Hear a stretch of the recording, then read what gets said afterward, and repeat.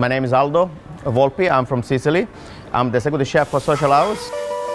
Well, as I said, I come from Sicily. I was in hotel school for five years in Palermo. Um, became a chef by passion and the love for traveling. I live in many countries before Indonesia. You know, I live in the US, Miami. I travel to Tel Aviv. I work in the UK. I work in France. I work in Hong Kong, Shanghai. And then I end up here in Indonesia and I've been here 10 years. All my kids came along, so, you know, I kind of settled down. Well, here in Social House, you know, we try to have home cooking from east and west, you know, relaxed food. We want people to come here and feel at home. That's why we're calling the name Social House.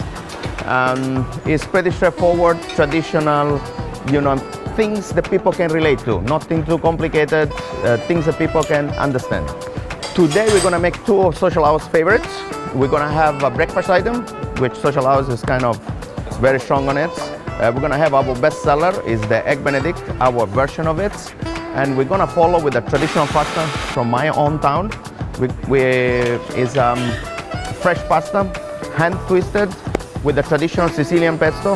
Is a red color different from the Genovese pesto with prawns and a little bit of twist in there, which I will show you later. Well, social house, you know, we expand to Dubai already. We have a social house Dubai in the Dubai Mall.